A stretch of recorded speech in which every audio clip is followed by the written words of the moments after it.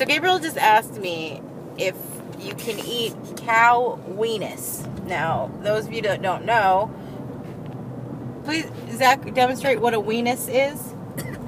Okay, that is your weenus. So my question was, does a cow have a weenus? Gabriel said it has four. So when I pointed out to Philip what a weenus was, Gabriel goes, "No, that's not what I'm talking about." So we're trying to figure out what he.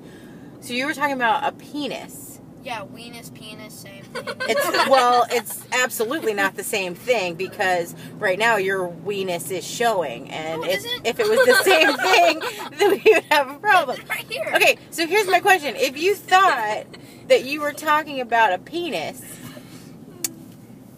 you said a cow has four of them. Yeah.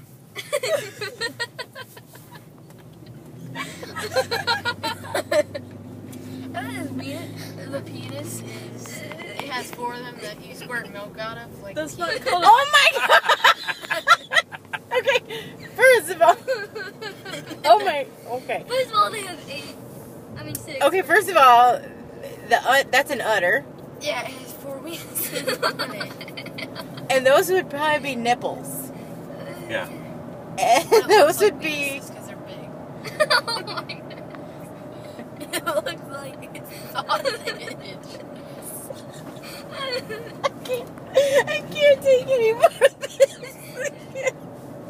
So. Oh, that's I not. don't even. I don't- know where to go with this. Oh that's the udder one.